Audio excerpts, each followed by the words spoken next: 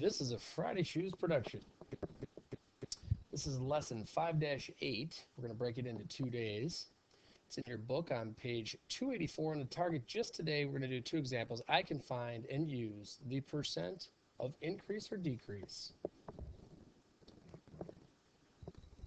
Well, what is the percent of change? Percent of change that we're talking about here is the percent that an amount changes from its original amount. And in the box here, we've made it simple for you. To calculate the percent of change, all you have to do is take the amount of the change, which is simply subtracting the two values, and divide it by the original amount. Then, of course, you change it into a percent by moving the decimal two spots to the right. Here are the steps we follow to calculate the percent of change like that box up there, but it's more formalized here. Percent of change, they say, is a percent of change is a ratio that is comp that compares the change in quantity to the original amount.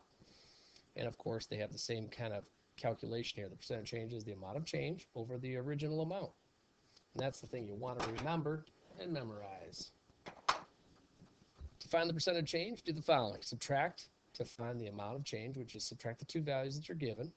And then write the ratio with the amount of change on top and the original amount on bottom as a decimal, which means you have to divide those two. And then write the decimal as a percent, moving the decimal over two spots. Okay, enough talking, let's do one. Now, these percents of changes could be, you could be increasing or decreasing. So you look at where it starts originally and a chronological order, like time. Think of what come, came first and then what came second. If it went started somewhere and went up, then we'd call that an increase. If we started somewhere and went down, then we call that a decrease. Let's look at one here. It says last year, the yearbook club at Wesley Middle School sold 174 yearbooks. This year, they sold 200 yearbooks. All, all I can tell you right now, that's going to be an increase because last year was 174. This year is uh, 200. That's up. So that's increase. Find the percent of change, round to the nearest tenth if necessary, and state whether the change is an increase or decrease. Well, it's an increase already, so I know that.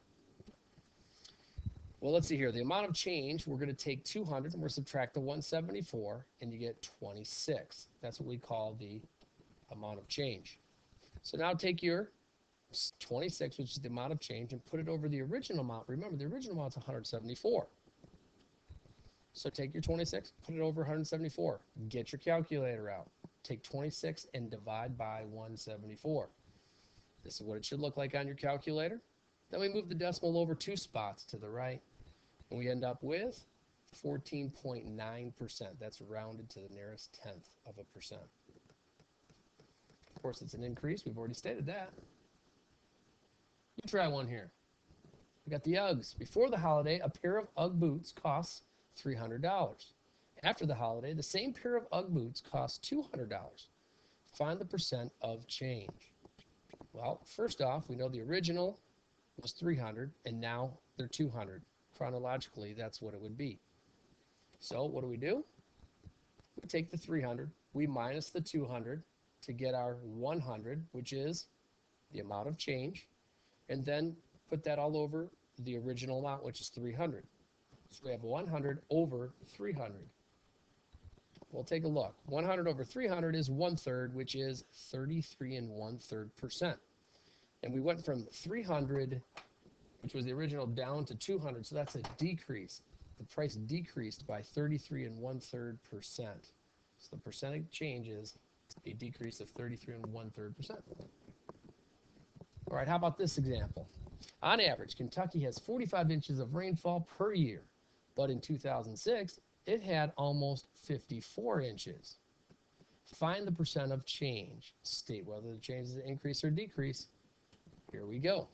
Step one, the amount of change is going to be 54 minus 45, which is 9. Now we take the amount of change and put it over the original amount. So we have 9 and then we put it over the 45 inches, which was the original amount. Divide the 9, 9 divided by 45, and we get 0.2. Move it over two spots, and we got 20%. And the new amount is greater than the original. Therefore, this is called a percent of increase. So we have a 20% increase in that rainfall.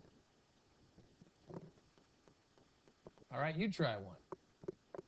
Here's a story. Read in the newspaper a few years back. It said six seventh graders were removed from the mall after they started a water balloon fight with 80 balloons. The problem? The water balloons were not filled with water, they were filled with milk. So they so they and their 55 remaining milk balloons were escorted out of the mall. Find the percent of change. That's the from the 80 balloons to 55 balloons. So, first off, whoops, we have 80 minus 50, which is 30. That'll be the change, amount of change. So we have 30 over 80. Let's take a look at what that equals. 30 divided by 80 is 0.375. Move the decimal over two spots, and that's 37.5%. And it's a decrease because it went from 80 balloons to 55 balloons. So the answer is 37.5% decrease. How about you try it again here? It says last year at Best Buy, the Xbox 360 250 gigabyte was selling for $300. This year, Best Buy is selling this unit as a bundle with all the stuff you see there in the picture for $360. What is the percent of change in the price?